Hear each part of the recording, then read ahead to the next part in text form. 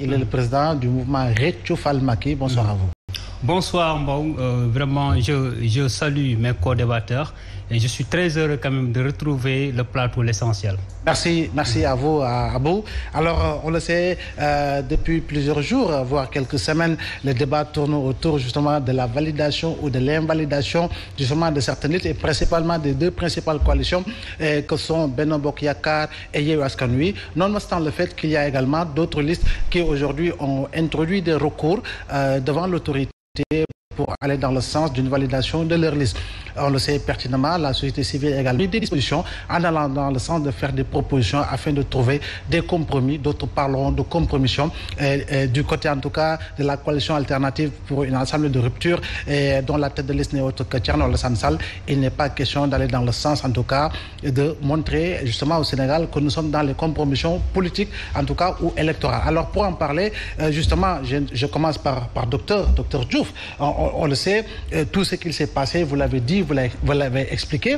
Aujourd'hui, euh, peut-être nous avons franchi une certaine étape et par rapport justement à, des propositions qui sont faites, surtout du côté de la société Pensez-vous euh, qu'il faille aller dans le sens d'une conciliation, d'un dialogue inclusif et participatif afin de permettre justement à ceux-là qui ont déposé leur dossier de candidature de pouvoir véritablement prendre part aux élections législatives qui se jouent au matin du 31 juillet prochain? Euh, je vous remercie encore, M. Waou, et je profite de votre plateau euh, pour euh, saluer tout le peuple sénégalais, en commençant par nos autorités religieuses, de Touba à Ndiassan, en passant par Yoff, en passant par Tianaba, Kaolach, jusqu'au fin fond également du Saloum et également du, des Euh, au niveau de la coalition Gumsabop, je crois que nous avons été tout le temps une coalition constante dans nos propos. Et ces propos ont été toujours orientés vers le respect de la loi, le respect de l'équité et le respect également de la Constitution sénégalaise qui constitue la charte fondamentale qui inaugure au rapport des citoyens sénégalais, mais qui organise également l'ensemble des scrutins présidentiels, législatifs et notamment les derniers scrutins qu'on a vécus avec les élections communales. Donc aujourd'hui, je crois que à l'heure de l'essentiel de la République, il convient en fait de faire un constat. Et le constat, c'est que le Sénégal a vécu une histoire. Une histoire en fait euh, dont les faits marquants euh, dateraient peut-être sur le plan politique, je dis bien, des élections de 1988. Nous avons vu tous les soubresauts qui ont émaillé ces élections.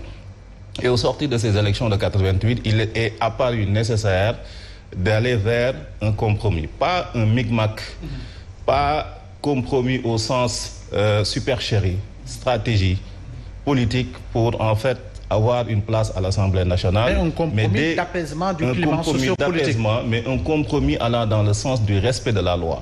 Et c'est dans ce sens-là que le code électoral de 1992 a été adopté pour permettre justement à ce que le Sénégal ait quand même un arsenal juridique qui soit de nature à gouverner les élections de quelque nature que ce soit. Maintenant, aujourd'hui, il y a lieu de se demander qu'est-ce qu'on a fait pour en arriver à ce, à ce stade-là? Parce qu'aujourd'hui, si on remarque ce qui s'est passé avec ces élections, des parrainages qui aujourd'hui ne trouvent pas un outil assez euh, fiable pour pouvoir les jauger, les apprécier et pouvoir donner des résultats assez fiables, alors même que sur le plan textuel, parce que moi je suis du, euh, des juristes qui croient que nous avons de bons textes. Nous avons d'excellents textes même, depuis la charte fondamentale et depuis également les conventions internationales et, traités communautaires que le Sénégal a ratifiés. Jusqu'aux textes réglementaires, notamment les arrêtés du ministre qui gouvernent en fait la composition ou le déroulement en fait des élections. Nous avons de bons textes. Mhm. Mais est-ce que nous avons aujourd'hui des outils permettant de monitorer ces textes-là pour que, en réalité, qu'on ait des élections accepter des élections légitimées. Transparentes et démocratiques. J'ai l'habitude de le dire au Sénégal. On est aujourd'hui plus de 12 millions, on dit, ou 14 millions. Mais à ces élections, ne participent même pas 10 millions de Sénégalais. Donc il faut que les Sénégalais qui aujourd'hui, vous et moi, qui faites somme sur la scène politique, aient du respect vis-à-vis de ce peuple de 12 millions, de 14 millions.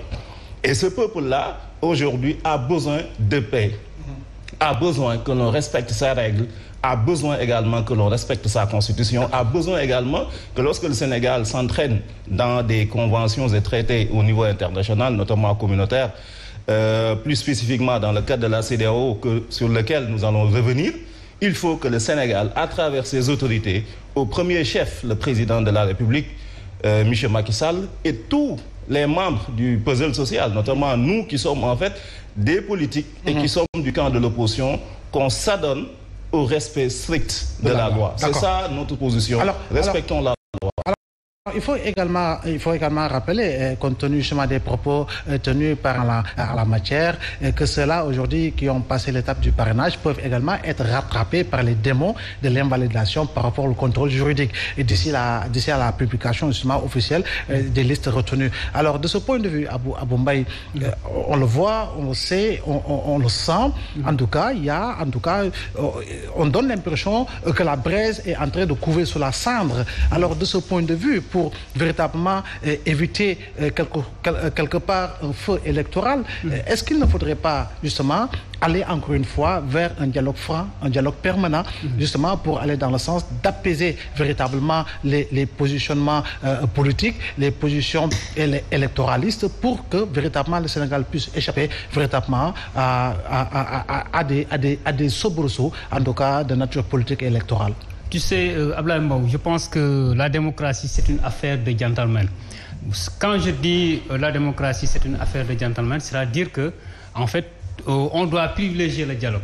On doit privilégier le consensus. Mais le parrainage, depuis 2019, tous les acteurs politiques, je ne dis pas tous les acteurs, mais la majorité quand même, n'est pas d'accord avec ce système de parrainage.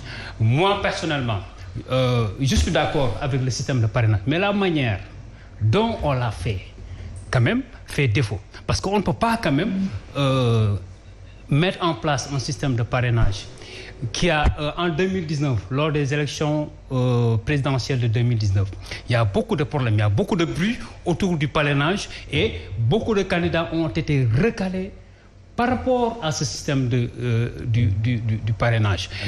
En, lors des élections de 2014, quand même, on a vu les mêmes bruits reviennent. Les bruits ou bien les contestations de 2019, de l'élection de 2019, reviennent lors de ces élections. Mais après les élections, de, euh, euh, après les élections locales, il fallait installer un dialogue entre les acteurs politiques. Mais il y, a eu, le dialogue politique. Mais, mais, il n'y a, jamais eu un dialogue sincère. C'est-à-dire qu'un dialogue, ce n'est pas de dire euh, ou bien de choisir ce qu'on va débattre. Mais il faut ouvrir toutes les, euh, tous les points ou, bien toutes les questions euh, en fait autour duquel qui va tous les points qui, qui, pourront quand même faire avancer l'espace politique. Parce qu'on a vu vraiment beaucoup, beaucoup de problèmes au niveau quand même des élections, de l'organisation, du calendrier électoral.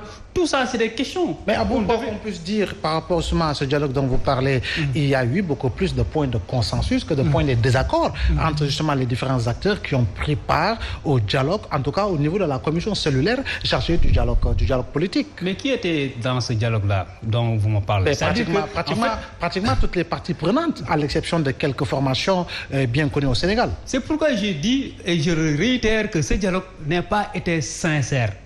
Parce que d'abord, ceux qui, qui, ont organisé ce dialogue-là, est-ce que ce sont eux, quand même, les organisateurs légitimes de ce dialogue-là? Il y a un problème. On, note un recul démocratique, quand même, euh, avec ce régime d'Amaxal. Pourquoi?